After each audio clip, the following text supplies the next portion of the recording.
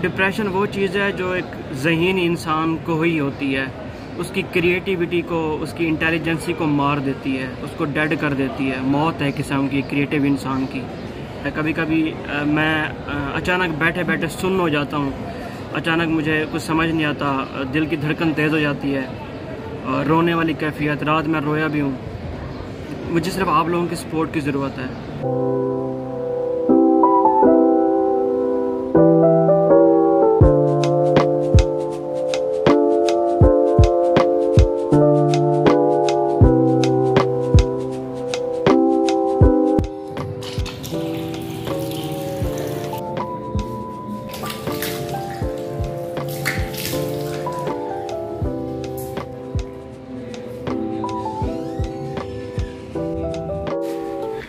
چلو۔ السلام علیکم کیسے ہیں؟ چابی مجھے دے دو السلام علیکم کیسے ہیں دوستوں ہاں؟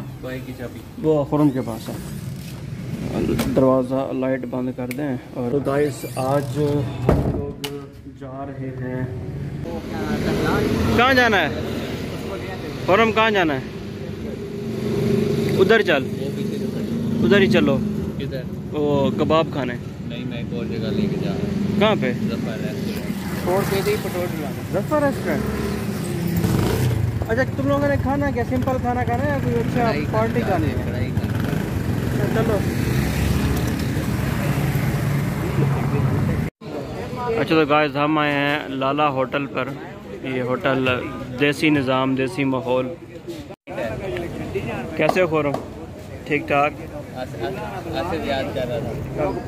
اچھا گائز یہ دیسی ماحول میں آپ کو دکھا رہا ہوں، کیونکہ ہم ہیں دیہاتی بندے، پنڈ دے رہن والے۔ یہ بھی بندہ پنڈ کا بندہ ہے۔ ہمیں دیسی ماحول زیادہ پسند ہے۔ تو پردیس میں رہتے ہیں، اپنے گھر سے دور۔ آج تو ہمارے یہ دوست آئے ہیں، خرم بھائی، اسلام کر دیں۔ اچھا یہ نا کافی کافی دن کے بعد آیا ہے۔ تقریباً تین، ساڑھے تین مہینے بعد۔ کیمرے کا شرم آ رہا ہے۔ حالانکہ یہ صحیح کیمرے کے ساتھ اچھا اچھا بولتا ہے مطلب۔ تو یہ آئے ہیں، آج ان کا پہلا دن ہے۔ کافی دن چھٹیوں کرنے کے بعد۔ تو آج یہ ہمیں کڑھائی کھلانے آئے ہیں۔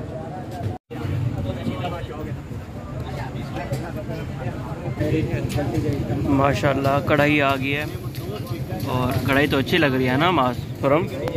اچھی لگ رہی ہے نا کڑھائی؟ آج ویسے ہاسٹل لائف ہے، اتنے وسائل ہمارے ہوتے نہیں ہیں، لیکن آج خورم کی آج خورم کی برکت ہوئی ہے کہ آج ہم کڑھائی کھا رہے ہیں۔ کڑھائی نصیب ہو رہی ہے Khurram thank you Khurram thank you اچھا میں کڑھائی کھا لوں کھانا کھا لوں۔ بھوک بہت لگی۔ صبح سے میں نے ناشتہ تک نہیں کیا ہوا آج کل میدا اتنا خراب ہوا ہوا ہے تو ناشتہ بھی نہیں کرنے کا دل کرتا۔ اچھا دوستو لائٹ اچھی نہیں ہوگی۔ میں ذرا واک کر رہا ہوں۔ دیکھ سکتے ہیں آپ ادھر دیکھیں سوسائٹی کے اندر۔ سوسائٹی میں رہنے کا ایک فائدہ ہے کہ آپ واک کر سکتے ہیں رات کو۔ کوئی ہجوم نہیں، کوئی ٹریفک نہیں۔ اور یہ دیکھیں اچھا موسم ہے ماشاءاللہ۔ اور فی الحال موسم بہت اچھا ہے، کیونکہ ابھی راتیں جو ہیں وہ ٹھنڈی ہو جاتی ہیں۔ ابھی جب بدرے کا موسم ہے، اگر رات کو گرمی جب حبس ہوتی ہے زیادہ تر اگست کے مہینے میں، تو بالکل نظر ہی نہیں آ رہا۔ گائز واک جو ہے نا، وہ بہت لازمی ہے۔ دماغی سکون کے لیے بھی اور صحت کے لیے بھی۔ تقریباً دوسرا، تیسرا دن ہے۔ میں واک کرنے آتا ہوں۔ پہلے تو اپنے کسی دوست کے ساتھ آتا تھا۔ آج وہ میرے ساتھ نہیں آیا، تو آج اکیلا ہی چل پڑا ہوں۔ اور بس تقریباً ہاسٹل کے ساتھ پہنچنے لگا ہوں۔ میرا تو دل تھا آپ سے باتیں کروں، واک کرتے کرتے، لیکن لوگ اتنے زیادہ ہیں تو اچھا نہیں لگتا۔ کہیں بیٹھ کے آرام سے آپ سے بات کرتے ہیں۔ السلام علیکم دوستو، آج دوسرا دن ہے۔ رات جو ہے بہت سی باتیں کرنی تھی۔ رینڈم ولاگ بنا رہا تھا تو رات مجھے بات کر نہیں پایا۔ ایک تو مجھے موقع نہیں ملا بات کرنے کا، دوسری بات یہ تھی کہ رات ایک میں نے ولاگ اپلوڈ کیا ہے، اس کے اوپر نا ویوز ہی نہیں آئے۔ حالانکہ محنت میں نے اتنی زیادہ کی تھی۔ آپ وہ ولاگ جا کے دیکھیں نا، آپ کہو گے کہ یار واقعی آپ ڈیزرو کرتے ہو۔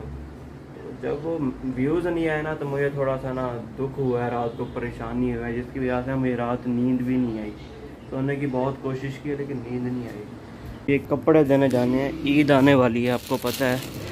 تو یہ میرا سوٹ ہے، اس کو سلواتے ہیں اور یہ اس کے ناپ کی قمیض ہے۔ نام نام بھی لکھ لو، محمد علی۔ اچھا دوستو، اس وقت میں سوٹ دینے آ گیا ہوں۔ اور قسمت اچھی ہے۔ میں مجھے لگا تھا کہ بھی دس بارہ دن لگیں گے۔ لیکن بھائیوں نے ایک فیور کر دیا وہ کہتے ہیں ایڈوانس دے دو ہزار اور آپ کو کل ہی کل سوٹ مل جائے گا۔ ٹھیک ہے نا؟ ایسا ہے نا بھائی؟ یہ میری ناپ لکھ رہے ہیں بھائی۔ اور یہ لیں آپ کی ایڈوانس باقی کا شام کو آ کے دے جاؤں گا۔ مرغی بنی ہوئی ہے۔ نظر بھی آ رہا ہے کہ نہیں؟ قیمہ ہے دال ہے۔ آلو انڈا ہے اور کڑی مڑی ہے دال ماش ہے لوبیا ہے۔ ابھی جا کے دیکھتے ہیں کہ ہمارے دوست کو پسند کیا آتا ہے۔ یہ ماحول جو آپ دیکھ سکتے ہیں تھوڑا سا کھلا ماحول۔ جیسے رات کو میں نے آپ کو بتایا تھا کہ مجھے جو ہے نا تھوڑا سا دیسی یا کھلا ماحول پسند ہے۔ اوکے گائز یہ سالن آ گیا ہے۔ سو بسم اللہ آپ نے آنا ہے تو کو کھانا کھلاتے ہیں اور پہلا نوالا آپ کے نام کا، آپ کی محبت میں پہلا نوالا ہم توڑ رہے ہیں۔ یہ دیکھیں میرے پیارے پیارے ویورز کے نام کا پہلا نوالا آپ نے کھانا تو آ جائے، ورنہ آپ نے کھا رہا ہوں۔ قورمہ اچھا بنا ہوا ہے، ماشاء یہ یہاں پہ کسی نا ڈرامے کی شوٹنگ ہو رہی ہے۔ ہوتا ہے نا، یونیورسٹی میں کوئی شوٹنگ وغیرہ ہو رہی ہوتی ہے۔ تو یہ کوئی ڈرامہ وغیرہ ہے۔ یہ دیکھیں سیٹ اپ لگا ہوا ہے سارا پورا۔ تو آنے والا وقت ہی بتائے گا کہ کون سے ڈرامے کی شوٹنگ یہاں پر ہو رہی ہے۔ پاکستان میں ڈرامے بہت سے بن رہے ہوتے ہیں۔ اچھا گائز ولاگ کا اینڈ کرنے لگا ہوں۔ کہ کل دکھ ہوا ہے بہت زیادہ ڈپریشن کہ میں میرا چینل نکل نہیں پا رہا میں اپنا جو خواب ہے وہ پورا نہیں کر پا رہا۔ تو میں پوری رات جاگتا رہا اور پاگلوں کی طرح ریفریش کرتا رہا ویوز ایک بڑھ رہا ہے دو بڑھ رہا ہے لیکن اب میں آپ کو کیا بولوں؟ ابھی میں یونیورسٹی ٹھہرا ہوں۔ بس واپس جانے کی کوشش کر رہا ہوں کہ وز میرا ہو گیا ہے۔ بس میں آپ سے ایک ریکویسٹ کروں گا کہ مجھے سپورٹ کریں، مجھے آپ لوگوں کی سپورٹ کی ضرورت ہے۔ آپ کی سپورٹ کے بغیر میں کچھ بھی نہیں ہوں۔ میں اپنے ہنڈریڈ پرسینٹ دیا ہے میں نے تین سال میں۔ اور دیکھیں ڈپریشن مجھے آج کل بہت زیادہ ہوتا ہے۔ مجھے اٹیکس ہوتے ہیں ڈپریشن کے۔ ٹائم کے ٹائم کے بعد، کچھ ٹائم بعد دوبارہ سٹارٹ ہو جاتا ہے۔ کبھی کبھی میں اچانک بیٹھے بیٹھے سن ہو جاتا ہوں۔ اچانک مجھے کچھ سمجھ نہیں آتا۔ دل کی دھڑکن تیز ہو جاتی ہے۔ رونے والی کیفیت، رات میں رویا بھی ہوں۔ مجھے صرف آپ لوگوں کی سپورٹ کی ضرورت ہے۔ اور ڈپریشن وہ چیز ہے جو ایک ذہین انسان کو ہی ہوتی ہے۔